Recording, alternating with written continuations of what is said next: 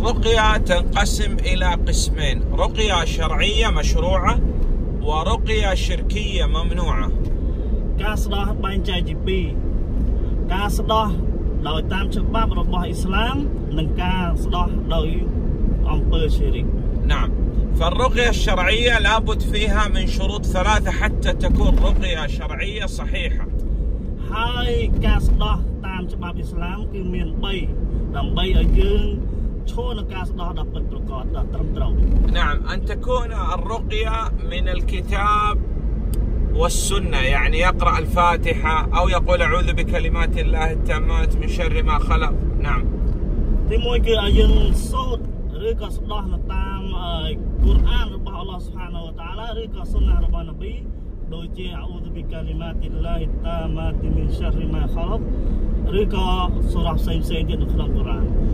أو آه،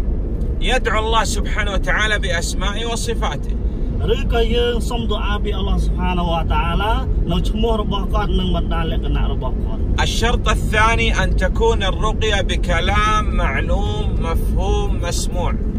يعني لا يمكن أن يتكلم بكلام غير مفهوم يعني باللغة الكمبودية لا يوجد رقية إلا باللغة العربية ហើយបើចំណុចទី2លក្ខខណ្ឌទី2គឺយើងសុំទូអា ឬក៏ស្ដោះនឹងពាក្យសម្ដីដែលអាចស្ដាប់បាន نعم ولابد من أراد أن يقرأ على غيره أن يقرأ بصوت مرتفع لا يقرأ بصوت منخفض ហើយសម្រាប់អ្នកដែលសូត្រឬក៏ស្ដោះឲ្យគេគឺត្រូវតែលើកសំឡេងឲ្យខ្លាំងមិនអាចសូត្រដោយបន្លំបន្លំដោយគេមិនដឹងបានទេ وأن يتكلم بكلام مفهوم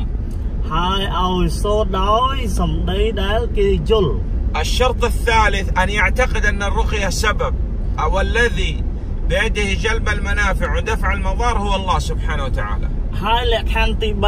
ឲ្យយើងដឹងអើយជឿជាក់ថាការស្ដោះអើយក៏ផ្ដល់ការជឿជាសះស្បើយអំពីអល់ឡោះស៊ុបហានាវតាឡា نعم إذا توفرت هذه الشروط الثلاثة كانت الرقية صحيحة